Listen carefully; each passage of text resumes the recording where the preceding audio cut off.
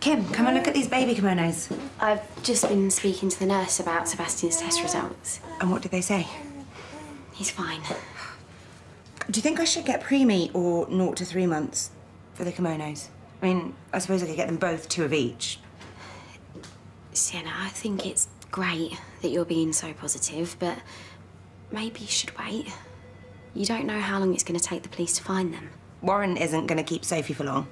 Once he thinks he's made his point. Sienna, he's already made his point. So what happened to you? I fell down the stairs. It looks worse than it is.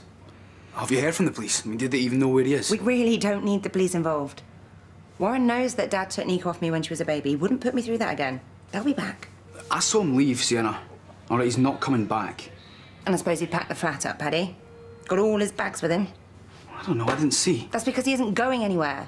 He's just winding me up, and quite frankly, he's not the only one. Look, if you want me to go back to the flat to tell you all his stuff's gone, I'll do it. What, so you can fob me off again? No, thank you. In fact, I'll go myself.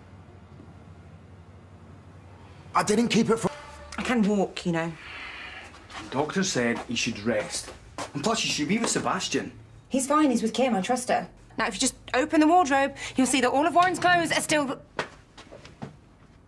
Okay, well, obviously, he's taken them to make it look like he's gone. Sienna, he has gone. You don't understand. It's all about the game with Warren getting the upper hand. No, he's angry and he's abusive. It wasn't abusive. He took one of your babies, Sienna. He knows what that did to you and your brother, and he went ahead and he done it anyway. He's just trying to scare me. Oh, was he just trying to scare me when he done this? I don't know what happened between you and your dad, but this is different. He tied me up and he threatened to kill me. His own son. Yes, but he didn't. He just scared you, and that is the game. Look, I've just said he tried to kill me, and you're obsessing about this game. You're not healthy, Sienna. Do you tell me what's healthy? You just had an operation, all right? You should go back to hospital. And stop telling me where I should be and how I should feel. I think it's best if you just leave. I'm not going anywhere, all right? You're not well. This is my house, and I want you to get out. No. Scar! What is it? You okay? No, no, I think I've popped my stitches. I'll take a seat. It's a stupid idea. Look, all right, we need to get you back to hospital, okay? Okay, maybe you're right. Warren's probably on his way back there with Sophie. Come on.